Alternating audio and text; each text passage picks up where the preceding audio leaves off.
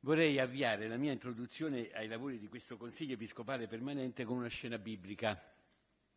La traggo dal libro degli Atti degli Apostoli. Si tratta dell'inizio della predicazione di Paolo a Corinto, la comunità che portava l'Apostolo fino alle lacrime, attraversata da divisioni e personalismi, in una città, incontro di culture diverse con le quali si misurava la piccola comunità. L'Apostolo incontra accoglienza, come quella presso la casa di Aquila e Priscilla, ma anche una forte opposizione. Possiamo immaginare i suoi dubbi. Come annunciare il Vangelo del risorto a gente diffidente, catturata dal presente, con una comunità divisa? Quale sicurezza? Cosa fare con la creta delle mediocrità e delle limitatezze umane? Durante questo travaglio Paolo viene raggiunto di notte da una rivelazione divina, ed è questa quella che sembrava così da proporvi, non aver paura. Continua a parlare e non tacere, perché io sono con te, nessuno cercherà di farti del male, in questa città io ho un popolo numeroso. Credo che il maggiore esperto qui di noi degli Atti degli Apostoli è Don Giuseppe, però mi riservo, ci riserviamo poi eh beh, no, no, resta, resta. Abbiamo sentito quella del Sinodo degli Atti, era molto bella. Anche per noi c'è un popolo numeroso nelle nostre città, molto più di quanto misuriamo con categorie spesso vecchie, giudicando con indicatori ormai superati, che non ci fanno accorgere di tanti segni importanti. Quando ho scritto questo pensavo una cosa che non so se qualcuno di voi ha visto, lo stemmino con cui non, non vuol dire chiaramente un po', però come sono cambiate le cose, lo stemmino con cui la CGL è andata dal Papa e c'erano le due bandiere, CGL e Santa Sede, incrociate con sotto pace e fraternità, una cosa del genere. E stando a Bologna ho pensato ai, ai vecchi della CGL con il bandierino, il mondo è cambiato, è decisamente cambiato. Lo percepiamo anche su mi sembra soprattutto dall'attenzione verso la Chiesa e i suoi ministri. Lo vediamo in alcuni momenti particolari della vita delle persone e della società. Fatto, faccio alcuni esempi, poi credo che ognuno di noi ne ha tanti, anche rivelatori, sorprendentemente, di, di tanta attenzione. Ad esempio la scomparsa di fratel Biagio Conte a Palermo, un giovane ricco convertitosi a missionario del Vangelo e amico dei poveri, profeticamente alternativo e vicino alla gente comune e ha suscitato in modo sorprendente attenzione attorno alla sua figura, non solo a Palermo. La santità e la carità attraggono. Monsignor Lorefice, arcivescovo di Palermo, ha detto era un diffusore di speranza, un uomo infuocato dell'amore di Dio e Don Pino Vetrano, compagno di Fratel Biagio, ha commentato esaltandolo oggi ci testimoni che la mafia si può vincere con la santità e la vita. Avere una visione larga del popolo, sapere che già c'è un popolo di Dio nascosto, non è consolatorio o illusorio, ma missione larga e dialogo rinnovato. Continua a parlare e non tacere, per far emergere questo popolo attraverso la relazione con ognuno e questo permette alla comunità di essere un corpo, di capire l'unità che valorizza l'individuo per non ripiegarsi, ma trasmettere fede, simpatia, speranza e solo l'unità permette alla comunità di essere creativa. Potrebbe anche essere quindi ogni divisione ci, in realtà ci fa essere molto meno creativi. Il cammino sinodale sta raggiungendo il completamento della prima fase, quella dell'ascolto, ne parleremo dopo, e ci restituisce tante attese, desideri e un'immagine dolorosa ma realistica delle nostre chiese. Queste non debbono mai dimenticare l'orizzonte largo con cui pensarsi e continuano a cercare il dialogo con i nostri compagni di strada, con quel popolo numeroso indicato all'Apostolo. San Paolo, che portò il Vangelo oltre i confini della Palestina sino ai confini della terra, ci incoraggia a non avere timore di quello che oggi chiameremmo cambio di paradigma. Molti, soprattutto laici, esprimono il disagio per forme ecclesiali sentite come poco partecipative. Anche i nostri presbiteri ci comunicano la fatica di mantenere le attività in cui un tempo erano impegnate forze ben più cospicue. Credo che tutti quanti i nostri annuari eh, a Bologna lo chiamano il cassolino, eh, perché era un certo Monsignor Cassoli, per cui si chiama tutto, quando mi dissero, vediamo nel cassolino, io non capivo che cos'era questa cosa del cassolino. Insomma, è chiaro che diminuiscono, cambiano mo- molto nella sua, nella, nella, nel, nel, nelle pagine e anche nelle composizioni. Ricorrono nel cammino sinodale parole chiave come comunione ecclesiale, partecipazione dei laici, razionalizzazione delle forze, scelta di priorità, decisioni da prendere. Spesso la tentazione non è avviare percorsi, ma elaborare programmi, non discernere ma aspettare la soluzione, non la ricerca ma la sicurezza. E di questo dobbiamo tenere anche conto, eh? credo. Il cammino sinodale ci aiuterà senz'altro a trovare le risposte adeguate e necessarie, ma solo nella tensione apostolica dell'Apostolo, che vuole raggiungere tutti e costruire comunità vive, cioè non è il contrario, qualche volta la tentazione è cercare subito la sicurezza e non vivere appunto, la, capire la, la tensione apostolica e viverla nella carne dei tanti incontri. No? Questo richiederà di identificare alcune priorità, soluzioni creative e rispondenti alle tante attese delle nostre comunità e del popolo numeroso cui svelare la presenza di Dio che già è nella loro vita. È un dono per me e per noi riunirci insieme, dico proprio personalmente alzare lo sguardo, guardare oltre, anche un po' guardarci tra di noi, ascoltarci, cercare di scambiarci le nostre opinioni e preoccupazioni, la nostra sensibilità alla ricerca di una visione o nella conferma di questa. Ne abbiamo bisogno perché qualche volta, come Marta del Vangelo, più che la visione che apre il cuore a Maria, ci sentiamo, anche non volendolo, diciamo per forza, catturati dai molti servizi oggettivi che finiscono per diventare una prigione dalla quale non sappiamo affrancarci. Alcune discussioni, calcoli e polarizzazioni nascono da questo atteggiamento. Sulle polarizzazioni in genere si perde anche il buonsenso. Marta verifica subito la propria utilità, si sente poco aiutata e rivela amarezza e recriminazioni. Porsi ai piedi di Gesù non è una cosa in più da fare, o smettere di farne altre, ma libertà interiore per mettere al centro quello che serve per davvero e che non ci viene tolto. Quando non ascoltiamo Gesù, inevitabilmente diventano importanti le cose piccole, che riempiono la vita ma svuotano il cuore quando ascoltiamo meno Gesù. E il mondo soffre di mancanza di visione. Il Papa Francesco propone una lettura problematica del mondo globale. L'umanità trascinata da una mano invisibile in cui diventa difficile fermarsi per recuperare la profondità della vita e la sua visione di fratelli tutti e di una Chiesa comunione ci permette di non lasciarci trascinare dagli affanni. La visione non è solo un progetto, ma ben di più. Talvolta anche da un punto di vista personale ci sembrano esaurire le nostre possibilità. E allora alzo gli occhi verso i monti, da dove mi verrà l'aiuto? Il mio aiuto viene dal Signore che ha fatto cielo e terra. E non stanchiamoci di alzare gli occhi e anche di aiutarci a farlo, strappandoli dall'onipresente io, dalle sue infinite interpretazioni, che non aiutano a risolvere il vero problema del suo significato, che è trovare il noi per chi vivere, quindi un noi largo. Alzare gli occhi c'è necessario per capire oggi il nostro popolo, tutto, quello prossimo e quello più lontano, ma che per questo non ha voltato le spalle al Vangelo, è più complicato. è la folla che sempre accompagna Gesù e che lo muove a compassione. In questo consiglio permanente affronteremo, come sempre, alcuni problemi necessari di governo anche di sistema. Sappiamo quanto importanti.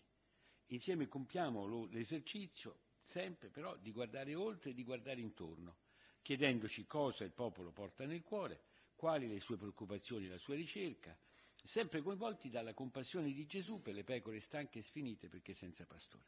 Altrimenti tutto si esaurisce nelle discussioni interne e non nel ripensare l'interno in chiave missionaria e di farlo sulle nostre misure e non cambiare queste su quanto è richiesto. Alzando gli occhi all'orizzonte vediamo i lampi della guerra in Ucraina, iniziata dall'invasione russa di uno Stato indipendente. È una storia di espressione di una crisi gravissima nelle relazioni internazionali, tanto da avere sullo sfondo persino la minaccia atomica. Non possiamo abituarci a convivere con la guerra in Ucraina, non possiamo accettare l'indifferenza, evidente o raffinata, come se la guerra fosse una malattia ineluttabile. Papa Francesco, cui inviamo la manifestazione del nostro affetto, della nostra comunione, del nostro comune sentire, ha affermato con il suo profondo pathos per la pace, con la guerra siamo tutti sconfitti, tutti noi in qualsiasi ruolo abbiamo il dovere di essere uomini di pace, nessuno escluso, nessuno è legittimato a guardare da un'altra parte. Ribadiamo la necessità della pace e l'urgenza di raggiungerla, innanzitutto per amore del popolo ucraino. Ogni giorno che passa significa morte, lutto, odio. La guerra è terribile, contagia nel mondo globale, provoca tante sofferenze nel mondo intero, come vediamo con la crisi alimentare che fa pagare un prezzo a popolazioni inerme e lontane, causa un riarmo preoccupante e pericoloso, insieme a ricadute belliche in altre parti del mondo, come la Siria o il Caucaso. Il mondo deve porre fine a questa guerra e affrontare seriamente gli altri conflitti aperti, che sono meno sotto gli occhi di tutti, ma pure così dolorosi. E con sgomento assistiamo all'uccisione dei sogni delle giovani generazioni e sentiamo di, il dovere di esprimere la solidarietà verso questa gente che chiede libertà e giustizia. Sorge la domanda profonda e urgente per tutti, specialmente per i credenti. Che significa essere uomini e donne di pace? Cosa significa educare alla pace ed essere artigiani di pace? Il Papa ci offre un esempio con le sue parole e i suoi gesti. Cioè non è una cosa in più, evidentemente è centrale, è un altro segno dei tempi così importante, no? come è stato il Covid, per certi versi lo è oggi la, questa pandemia. I suoi insistenti inviti, le sue riflessioni e appelli, la sua commozione nel giorno dell'Immacolata esprimono l'ansia personale e l'urgenza della pace. Nel recente discorso ai membri del corpo diplomatico, accreditato presso la Santa Sede, il Papa ha ricordato che la pace è possibile, alla luce di quattro beni fondamentali, la verità, la giustizia, la solidarietà e la libertà. Ma l'interrogativo riguarda la Chiesa e noi tutti. Anzitutto la nostra preghiera, ovviamente, lamento di intercessione innanzi a Dio e protesta contro la guerra. E le nostre comunità, le nostre liturgie domenicali, debbono risuonare insistentemente di preghiera per la pace. Mai dimenticare la forza della preghiera. Questa dimensione orante, tanto decisiva nella Chiesa che Clemente di Alessandria chiamava Eirenikon Genus, una stirpe pacifica. Papa eh, Benedetto XV eh, aveva mandato durante la guerra, prima guerra mondiale eh, la richiesta di pregare tutti quanti per la pace, ha fatto cam- cambiare, modificare le preghiere, tanto che ebbe tanti problemi anche per questo, perché ognuno pregava per la sua vittoria, invece faceva pregare per la pace.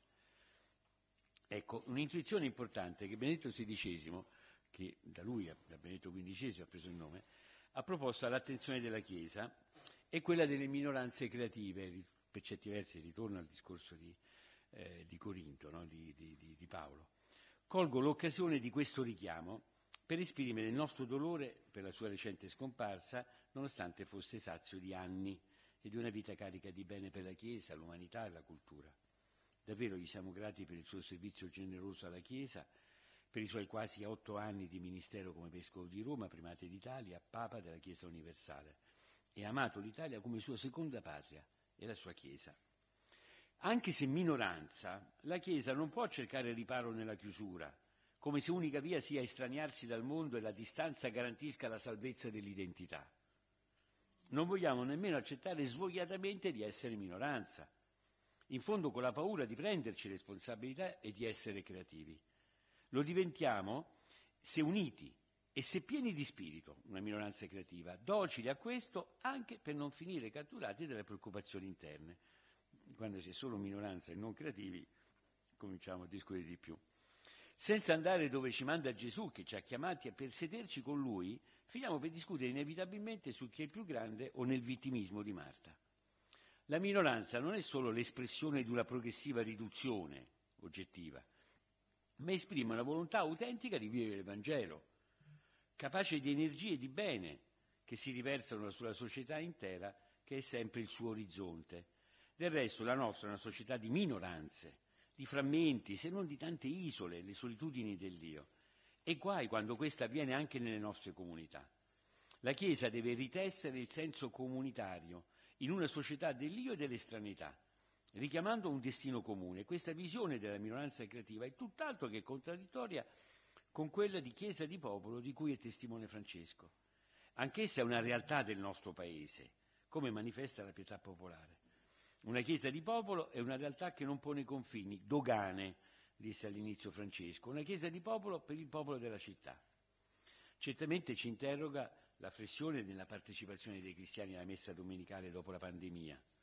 Qualcuno, vi ricordate, l'altra volta diceva, insomma, di chi stiamo parlando, siamo quasi la metà, no? Qualcuno di noi. Ma dobbiamo sempre pensare che i nostri confini sono ben più larghi e che la Chiesa non finisce sulle sue soglie. Quest'anno si compiono i 75 anni della, compiuti i 75 anni della Costituzione repubblicana, entrata in vigore il 1 gennaio del 48, nata dal ripudio del fascismo e della guerra, ma anche dalla volontà di guardare insieme il futuro. Varie riforme sono possibili e in discussione, ma la principale resta vivere nello spirito e applicarla fino in fondo in tutte le sue parti, soprattutto lo spirito. Non è difficile vedere in essa il sentire comune profondo proprio della dottrina sociale della Chiesa. Il valore normativo della persona motiva l'architettura dei poteri. E desidero ricordare come anche come si compie quest'anno, nel mese di agosto, il centenario dell'omicidio di Don Giovanni Minzoni, arciprete di Argenta. Lo ricordiamo con rispetto e affetto, anche per dire che i sacerdoti sanno vivere e morire per il loro ministero. Lo abbiamo visto durante e dopo la Seconda Guerra Mondiale, penso anche a tanti nel, nella mia regione, lo abbiamo, ma non solo, lo abbiamo vissuto di fronte alle minacce della mafia e della camorra. E scriveva Don Minzoni, a cuore aperto, con la preghiera che spero mai si spegnerà sul mio labbro per i miei persecutori, attendo la bufera, la persecuzione, forse anche la morte, forse la morte per il trionfo della causa di Cristo. La religione non ammette servilismi, ma il martirio. Così vivono e muoiono i preti, lo diceva anche un altro della Bassa. Questa memoria incoraggia noi, preti italiani, che talvolta ci interroghiamo su tanto lavoro e ci sentiamo quasi abbattuti. I nostri predecessori hanno resistito al male e hanno creato il bene in situazioni tanto difficili. E ci inseriamo quindi in una lunga catena di servitori del Vangelo e del popolo italiano che si sono spesi con fedeltà e creatività sociale e pastorale. E poi la memoria di un altro prete, in tutt'altra situazione storica di cui ricorre il centenario della nascita, Don Lorenzo Milani in questo 2023 ci aiuta a guardare il futuro. Di Don Milani ha detto Francesco, la sua era un'inquietudine spirituale alimentata dall'amore per Cristo, per il Vangelo, per la Chiesa, per la società e per la scuola, che sognava sempre più come un ospedale da campo per soccorrere i feriti, per recuperare gli emarginati e gli scartati, specialmente i giovani. La sua memoria ci aiuta ad avere rinnovata passione per i giovani. Tante volte i vescovi italiani sono intervenuti sulla scuola e sull'emergenza educativa. La scuola è il laboratorio del futuro di un paese, in cui si prepara il domani e dove vanno investite le energie migliori e le risorse necessarie. In essi si rivela il desiderio di futuro e maggiore pressione sugli adulti, perché prendono subito decisioni lungimiranti e quindi richiedono uno sforzo, un cambiamento notevole. Lo vediamo con le richieste a volte scomposte, di rispettare il pianeta in cui viviamo. E a questo proposito Papa Francesco scrive nel Laudato Si la coscienza della gravità della crisi culturale ed ecologica deve tradursi in nuove abitudini e i giovani hanno una nuova sensibilità ecologica e uno spirito generoso. E alcuni di loro lottano in modo ammirevole per la difesa dell'ambiente, ma sono cresciuti in un contesto di altissimo consumo e di benessere che rende difficile la maturazione di altre abitudini. Per questo ci troviamo davanti a una sfida educativa e forse anche possiamo rappresentare tanto un'alternativa, lo siamo. Questo è il nostro compito di pastori, un compito che riguarda la formazione della coscienza ad una ecologia integrale, che guarda all'ambiente ma soprattutto alle persone che in questo ambiente vivono. Si tratta di raccogliere la sfida di un cambio anche culturale in atto nel nostro Paese e questo non riguarda solo i giovani, ma ovviamente soprattutto gli adulti e gli educatori in genere. Da questo punto di vista l'ampia rete delle scuole cattoliche dovrebbe essere percepita come un'alleata e non come un'avversaria della scuola pubblica, anche creando sinergie, collaborazioni, progettualità comuni per la crescita del sistema scolastico ed educativo. In questo contesto è importante ricordare anche il ruolo degli insegnanti di religione cattolica, che hanno l'occasione straordinaria di intercettare le domande di senso dei ragazzi in età scolare e offrire loro chiavi di lettura importanti per tutta la loro vita. Certo, vorrei ricordare anche il problema però di tanti italiani che lasciano il paese, spesso giovani, nel 2020 160.000 persone, di cui 120.000 cittadini italiani, cioè una città. Ci dobbiamo, sì, ci dobbiamo interrogare su una società non accogliente verso i giovani. perché accoglienza è parola chiave e spesso si ha paura di accogliere il futuro che è vita. È la paura dell'accoglienza alla vita che porta tragicamente alla soppressione di essa nel grembo della madre. Grandi e impegnative sfide per il bene dell'Italia aspettano il nuovo governo, cui rinnovo, rinnoviamo i migliori auguri, assicurando che la Chiesa, in spirito di cooperazione, continuerà il suo impegno per l'intera comunità italiana, per i più deboli, per la coesione della società, per l'educazione e il bene comune. Guardando da vicino le persone che ci circondano, non possiamo non rilevare i morsi della crisi economica in atto. La povertà del nostro Paese è aumentata in modo considerevole a partire dalla crisi del 2008 e con essa la diseguaglianza dei redditi, della ricchezza e delle opportunità. Prezioso è il lavoro che Caritas Italiana con altri uffici della conferenza episcopale sta facendo, un monitoraggio della situazione avanzando anche proposte nel merito. La pandemia, che ancora mostra terribili colpi di coda, è stata una calamità che ha provocato tante, troppe morti e toccato con dolore tante famiglie e comunità. A motivo poi della crisi bellica, il nostro Paese sta pagando gli aumenti dei costi dell'energia, anche le parrocchie, che intaccano il potere di acquisto di famiglie. E sentiamo la decisiva la programmazione del PNRR e la preoccupazione che questo sia davvero la costruzione di un sistema di strutture e infrastrutture capaci di dare sicurezza per il futuro di vincere il precariato e offrire speranze e garanzie. Questo richiede una determinazione e una collaborazione unica, uno sguardo largo verso il futuro, non ridotto al contingente e piegato a interessi di parte o speculativi. Di fronte alla povertà e alla fragilità diffusa nel nostro Paese occorre una costante vicinanza delle nostre chiese alle famiglie, alle imprese, al mondo del lavoro. Oggi un lavoratore su otto ha un ingaggio precario mal pagato, che non consente un tenore di vita adeguato alla dignità della persona e alla costruzione di un progetto di vita personale e familiare.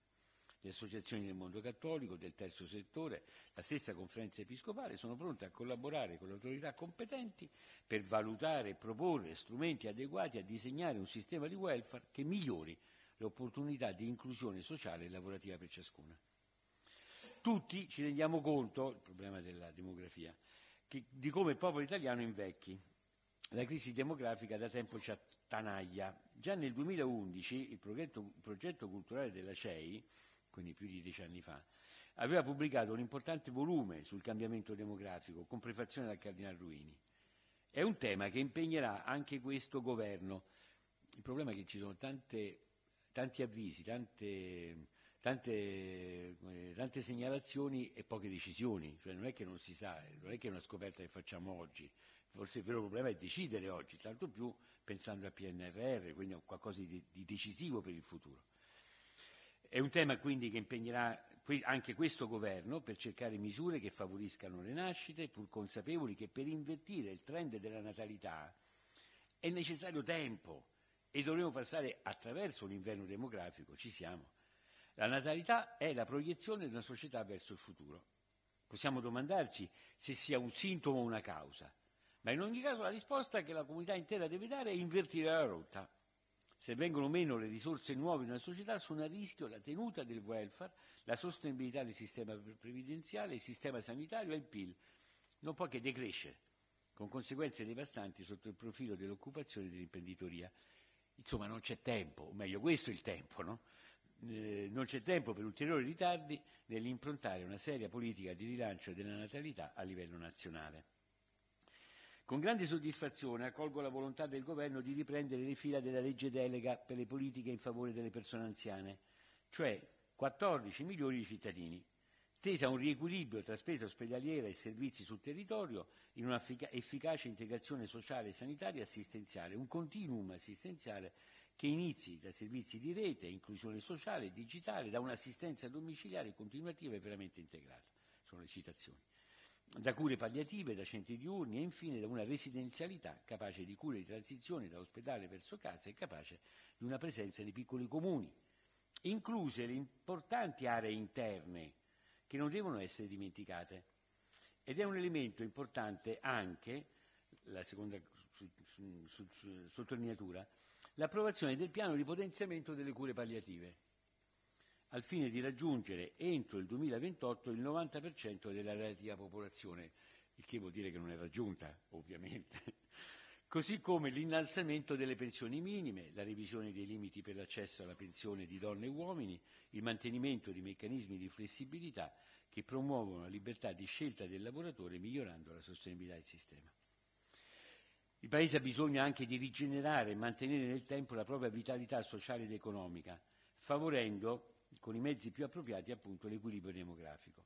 La difficoltà in particolare nel raggiungere requisiti minimi rispetto al binomio lavoro e casa per diventare economicamente indipendenti e formare un nucleo familiare è tra le preoccupazioni maggiori che i giovani esprimono in tutte le indagini che sondano le loro condizioni, ad iniziare dal precariato del lavoro e dalla casa che non c'è appare indispensabile un grande sforzo a riguardo per garantire sicurezza abitativa capace di dare dignità alle persone e generare vita. E se c'è casa c'è vita, o è più facile.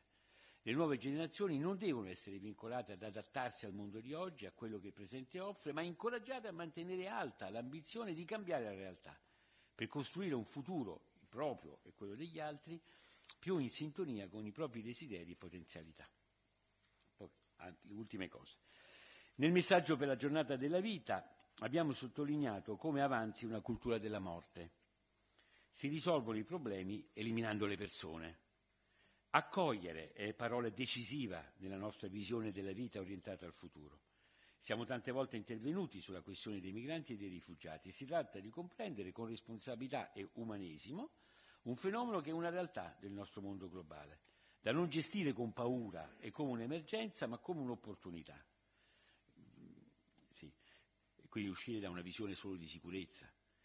Tale problematica richiama la centralità della scuola, spazio decisivo di integrazione nella cultura e nella lingua italiana, ma anche la necessità di maggiori flussi regolari di ingresso, di corridoi umanitari e di congiungimenti familiari. Soprattutto è importante come accogliamo. Non facciamo vivere umiliazione, tempi lunghi di attesa, viaggi infiniti, anticamera senza senso, marginalizzazione. Siamo consapevoli come queste e tante altre problematiche italiane non, possono, non possano essere affrontate senza guardare all'Europa. È ovvio, ma va sempre ricordato. La Chiesa, così radicata nella storia e nella cultura europea, ricorda agli europei che non possono vivere per se stessi. L'accoglienza dei migranti lavoratori chiede di essere organizzata su incontro fra domanda e offerta di lavoro. E infine non dimentichiamo anche il problema di circa 500.000 persone anche lavoratori non regolari però in Italia. Gli ultimi due punti. Rileggendo il libro degli atti colpiscono i fallimenti di Paolo. L'idea che il suo annuncio del Vangelo sia, stata, sia stato una cavalcata trionfale è impropria. Non possiamo nascondere che anche il nostro presente è disseminato di comportamenti e di eventi che contrastano chiaramente con il Vangelo. Penso alla questione della pedofilia e degli abusi in genere, che purtroppo riguarda membri della Chiesa istituzionale o persone legate più o meno direttamente a noi, ma riguarda soprattutto tante donne e tanti uomini, nostre sorelle e nostri fratelli, che sono profondamente feriti da un male che ha le sue radici nell'uso distorto del potere e che mina alla radice la fiducia nella vita, negli altri, nella Chiesa, nel Signore stesso. Plaudo al lavoro svolto con sapienza dal Servizio Nazionale per la tutela dei minori della CEI, che lo scorso 17 novembre ha presentato il primo report nazionale sulle attività di tutela nelle diocesi italiane. Ne va dimenticato l'accordo sottoscritto il 28 ottobre dalla CEI con la Pontificia Commissione per la tutela dei minori per combattere in modo sempre più efficace gli abusi sessuali all'interno della Chiesa. Si tratta di passi, certo, appunto di passi, no? che come Chiesa in Italia dobbiamo e vogliamo continuare a compiere con fermezza con responsabilità, per stare dalla parte dei più fragili per far crescere una cultura, per tutti, la cultura ovviamente non soltanto per noi, caratterizzata dal rispetto, dalla cura e dalla tutela della dignità di ogni persona. Guardando l'esperienza di Paolo, come emerge dal brano degli Atti 18 e altrove, mi chiedo, cosa ha veramente fatto la differenza? Qual è l'eredità che lascia la storia dopo di lui? L'autore di Atti scrive che quando si posero le condizioni favorevoli, Paolo cominciò a dedicarsi tutto alla parola. Da una parte lavora e fa di tutto per meritare l'accoglienza degli amici, dall'altra parte sa che la sua priorità consiste nel portare a tutti la luce della risurrezione di Cristo.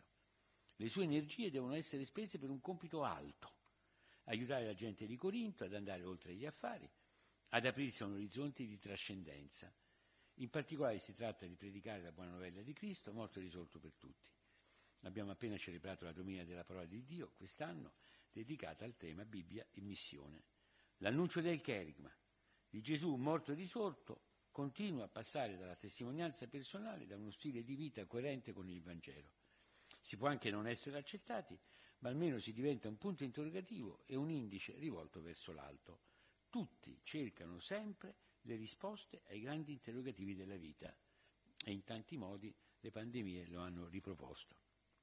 Siamo decisamente in cammino verso la prossima Assemblea generale, ne parleremo, alla luce del testo di atti e delle riflessioni che ho appena condiviso, eh, come ho potuto, così possiamo fare, cosa possiamo fare perché questo appuntamento diventi una reale occasione di conversione ecclesiale? Il mio pensiero va ad un ripensamento anche della struttura della CEI, più capace di esprimere la centralità della parola di Dio e di servire meglio le chiese che sono in Italia e rafforzare e servire la collegialità tra di noi. Ma questo lo dovremo fare insieme perché la conferenza episcopale, prima di essere una struttura, è il segno della collegialità, della comunione, del camminare insieme, espressione di quel prendersi cura che un popolo numeroso, di un popolo numeroso che ci ha affidato, anche quello che non sappiamo ci sia.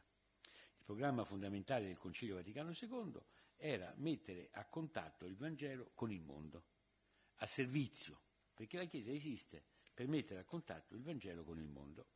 E auspico che questo possa essere il desiderio di ciascuno di noi, anzi sono sicuro che questo è il desiderio di ciascuno di noi in questo tempo che ci è donato.